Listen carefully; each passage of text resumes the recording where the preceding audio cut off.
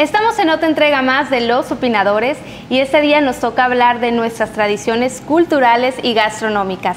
Para ellos contamos con la presencia del licenciado Ernesto Martínez Nieves, presidente de Canirac Hermosillo y presidente de Canirac Sonora. Muchas gracias por acompañarnos. Muchísimas gracias, Angélica. Gracias por la invitación.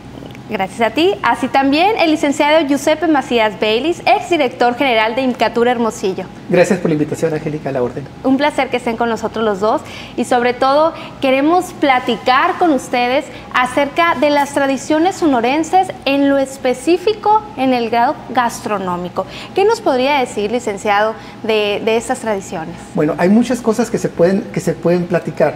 Toda la tradición sonorense la podemos dividir en dos, dos partes. Una, la tradición antes de la presencia del europeo, no solo del español, del europeo en general, y ya la tradición gastronómica a partir de la presencia del europeo, que se va a completar con básicamente el uso de la harina y el uso de la carne de res principalmente. Por eso tiene tanta fuerza en nuestro estado eh, las carnes asadas con las famosas tortillas de harina, eh, los tacos de carne asada. Es una, es una fuerza muy, muy grande. Y la tortilla en particular reúne dos mundos. La tortilla es americana, y el trigo es europeo, norte de África. Entonces tenemos un, mestizaje gastronómico muy interesante en la tortilla de harina.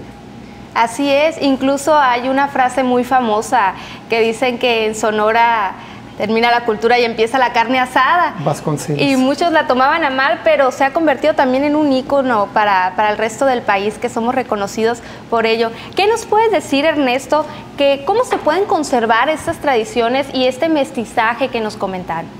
Creo que sí es muy importante y estamos en una eh, época de mucho modernismo en cuanto a la gastronomía y tenemos que tener mucho cuidado de conservar precisamente nuestras raíces gastronómicas. Es muy importante todas aquellas este, embajadoras de nuestra gastronomía, como la tortilla de harina que ahorita mencionamos, que la verdad es única y, por más que inventos, tecnología, o sea, es el mismo proceso y la misma manera fácil de, de hacerla, es la harina, la manteca, el agua, la sal pero pues es, con esa pasión con la que está hecha aquí por, por los sonorenses que pues sale tan, tan, tan rica y que se convierte en un souvenir turístico que quienes vienen nos visitan buscan la famosa tortilla de harina, la tortilla de agua.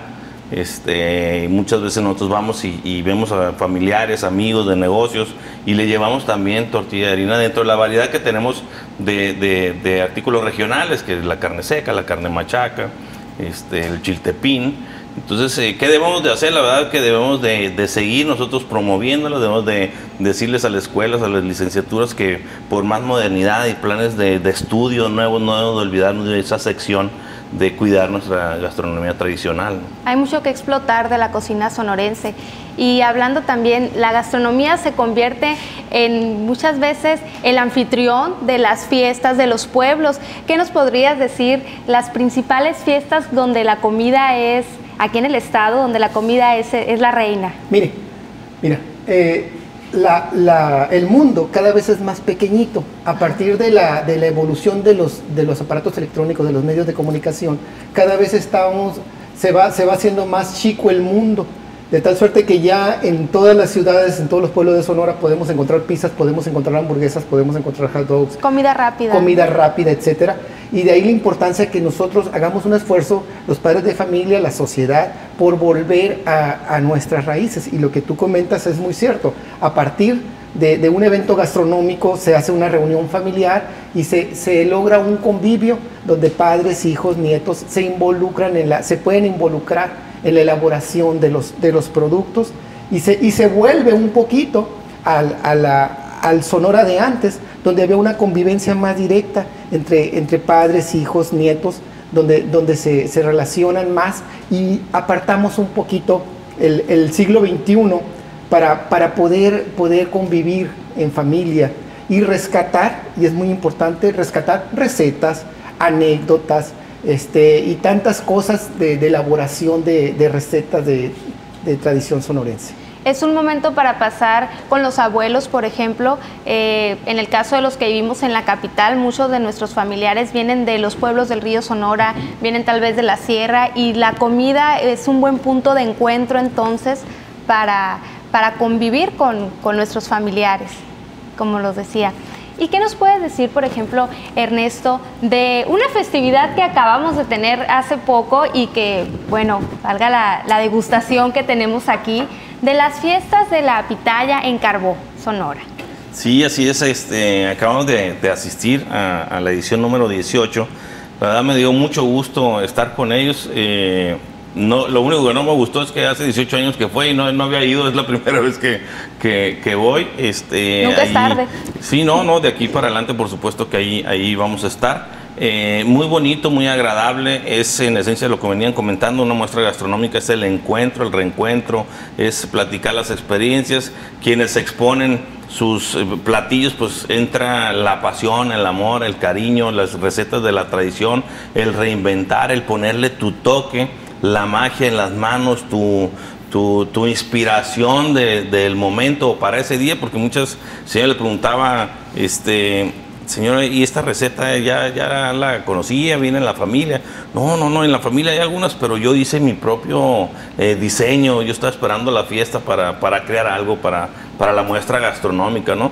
Entonces ese, esa motivación que ellos ya tienen durante 18 años que van a tener su, su eh, festival pues de, de Carbó eh, en la muestra gastronómica, pues es donde culmina toda esa eh, motivación que tenían por hacer algo diferente, novedoso y entra desde el platillo, combinaciones con puerco, con pollo, con camarón, los postres, una natilla ahí riquísima que probé, inclusive una bebida con, con bacanora, que por lo general nosotros este oímos el bacano y lo vamos a probar y lo probamos con respetito, así una probadita, porque si no, pues me va a pegar un golpe ahí y la verdad estaba exquisita, yo creo que con unos dos, tres hielitos esa bebida está riquísima y la dieron en un tipo shot y sin embargo pudiera ser una bebida de trago largo porque estaba muy bien equilibrado entre la combinación de, la, de pitaya, el bacanora y el mix que le pusieron, muy, muy rico, la verdad, y me dio mucho gusto que tuvieran esa creatividad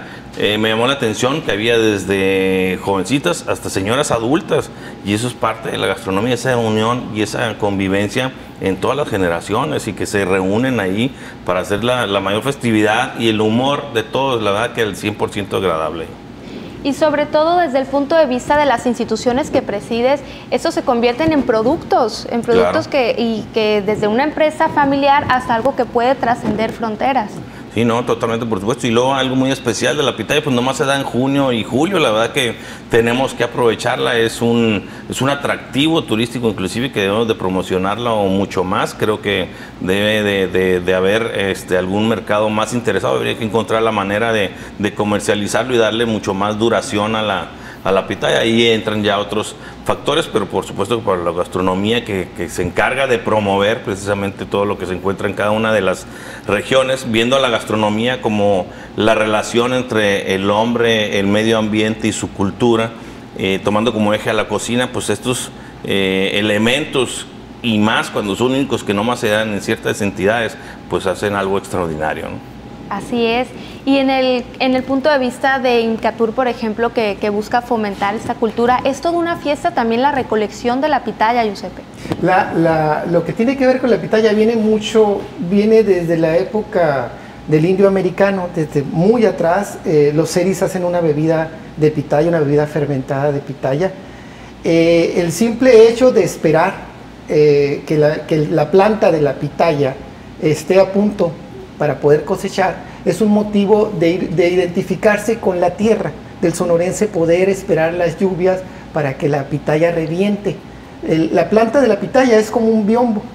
Generalmente eh, nosotros la vemos a simple vista del mismo grosor siempre, pero en tiempo de lluvia se estira el biombo y es cuando recibe agua y es cuando le manda el agua a la, a la pitaya, a la fruta. Y, eh, el, recolector de pitaya tiene muy poquito tiempo para recolectarla antes de que las aves y, otros animales, insectos, se la coman la pitaya. Entonces es todo un acontecimiento cultural que un padre lleve a los hijos a recolectar la pitaya, porque tienen que conocer perfectamente el clima, la tierra, la planta, y, se convierte en una fiesta. Eh, los, los, pitalleros inexpertos, por ejemplo, tumban la pitaya y hay quienes le dan cachado con la mano, con la espina. Entonces, hay, hay, es lo idóneo? Lo idóneo. eh, dejarla que caiga o cacharla con algo que no, no, no se puede cachar con la mano, porque tiene, tiene espina. Entonces, y muchas veces ya está muy madura. Cuando ya está muy madura y cae, se, despedaza. Entonces se tiene que eh, cachar en, en alguna eh, malla o no sé, etc. Y, y sí, ojalá este programa lo estén viendo muchos padres de familia y lleven a sus hijos a la recolección de pitaya. Eh, todo lo que tiene que ver con la gastronomía sonorense son elementos de identidad que nos hacen más nosotros, que nos hacen volver a, un pasado que, rompe brecha generacional con los padres, con los abuelos. Entonces, todos estos son magníficas oportunidades para que haya convivencia familiar, que se asoleen, que se raspen los chamacos, no pasa nada, que pisen la tierra, que suden y que cuando vayamos al mercado municipal, por favor, no regatiemos a los pitalleros, porque detrás de una pitaya hay mucho sudor, hay mucho esfuerzo. Eh, cuando compramos una pitaya es apoyar nuestra cultura. Entonces, por favor, respetemos los precios, no, no es tan caro. Y a partir de una pitaya podemos hacer una fiesta en la casa. Y es toda una disciplina, como nos comentabas, Giuseppe, en el caso de los series, cómo tienen que estar bien con la tierra para que pueda darse ese proceso en que llegue la lluvia. Habla mucho de, la calidad de la persona que debe de haber, que es lo que nos invitas, nos invitan los dos a que, a que suceda con la familia. Y por otra parte también ese, ese punto preciso de la recolección que se convierte en un juego también, como nos dices, hay que cacharlo y que si te espinas, que, los niños se, llenen de tierra incluso. Y me pueden comentar, por ejemplo, Ernesto, eh, algún platillo, el que más te, haya gustado que, contenga la pitaya. La verdad que eh, me asombró mucho en, la muestra gastronómica y me voy a referir a ellos pues, porque es precisamente sobre la, la pitaya y como dice este Giuseppe, pues es parte de, la identidad y en este caso de, de Carbó, pues la, pitaya es la, excelente ahí. Y me llamó mucho la atención que es la que ganó ahí unas tiritas de, carnito de, puerco excelente. Otra persona manejó con, con el camarón, una combinación muy agradable, muy equilibrada entre el camarón, empezando el sabor del camarón y terminando con esa este, la verdad, de riqueza de, la, de la pitaya. Eh, hubo ahí un pudín muy sabroso también, muy rico. Y la verdad que ahí entra ya la creatividad, el sazón de cada persona, de la inspiración. Se le puede sacar eh, mucho, mucho este, utilidad, es un gran acompañante para diferentes ideas, que es lo que se ha dado realmente la gastronomía, ha crecido y se ha multiplicado y exponenciado precisamente por la creatividad de cada quien y hemos entrado en diferentes en etapas de una cocina tradicional que ha evolucionado se ha convertido en, gourmet, en fusión, en cocina de, autor y fácilmente la pitaya puede encontrarse entre esos lugares. Y seguimos nosotros hablando, muchas gracias Ernesto, es cierto, es todo, todos estos 18 años que es un reto, ¿no? Un, reto de qué platillo se va a inventar o reinventar. Es algo que, que, comentábamos en otra entrega con la Chef Palacios, pero nosotros continuamos en Los Opinadores hablando de la fiesta de la pitaya en Carbo Sonora.